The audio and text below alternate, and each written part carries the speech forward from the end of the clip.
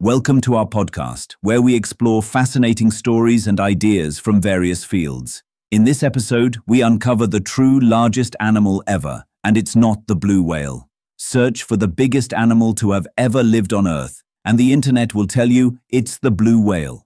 However, scientists may have found a bigger contender that could dethrone the giants of the ocean.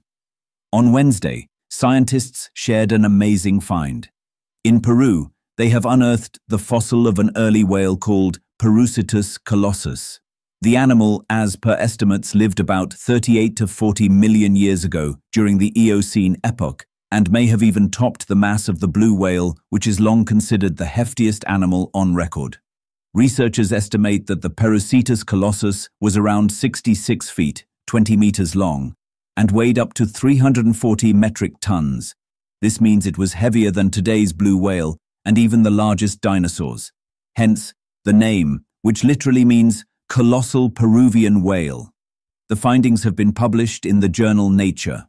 Lead author of the research, paleontologist Giovanni Bianucci of the University of Pisa in Italy, as per Reuters remarked, the main feature of this animal is certainly the extreme weight, which suggests that evolution can generate organisms that have characteristics that go beyond our imagination.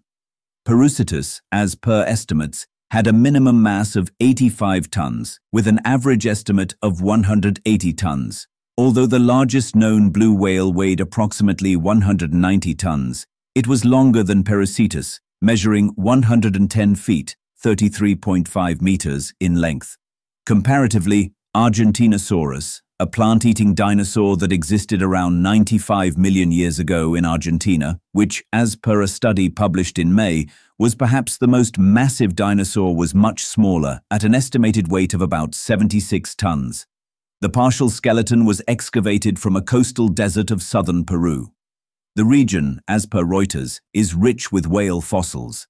Scientists have as of now excavated with 13 vertebrae, 4 ribs and 1 hip bone, of Perucetus colossus. The bones were found to be unusually voluminous and extremely dense and compact. The skeletal mass alone is an estimated 5 and 8 tons, which is at least twice that of the blue whale. However, researchers are yet to stumble upon its cranial or tooth remains. This means we have no idea about its diet or lifestyle.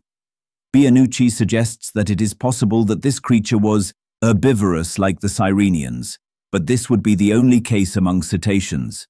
Perhaps it fed on small mollusks and crustaceans in sandy bottoms like the extant grey whale, or it could have been a scavenger on vertebrate carcasses, similar to some extant large-body sharks. Thanks for tuning into this incredible story.